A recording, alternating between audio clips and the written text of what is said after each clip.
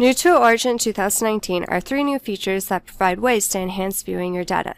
These new features include the Data Highlighter, Plot Highlighter, and enhancements on the Data Point tooltip.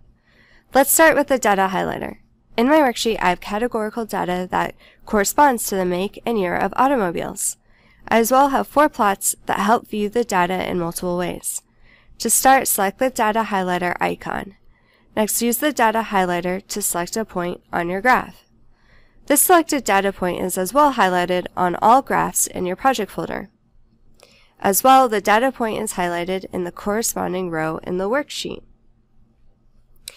You can as well select multiple data points by, select, by holding the Control key.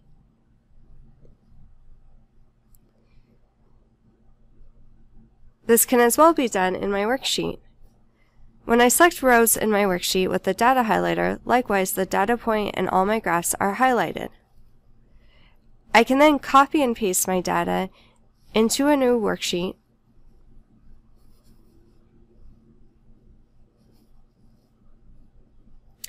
Another quick way to select your data points is by left-clicking and dragging your mouse. I can as well toggle the selection tool from rectangle shape to custom shape by selecting the space key. Now I am able to select a customized region of data points on my graph.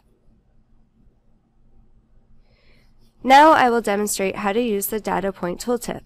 With your mouse, hover over a data point on your plot, and the data tooltip will pop up to show information about your data, such as row index number and data values.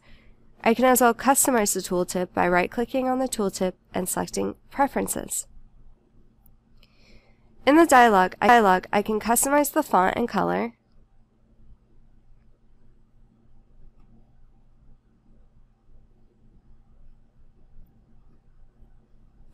as well as the background color,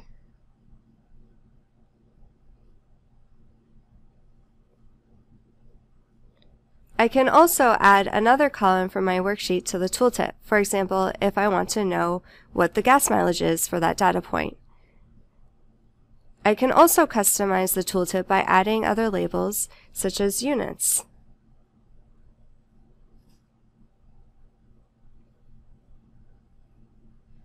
Afterwards, I can then reorganize by dragging the units left of the data.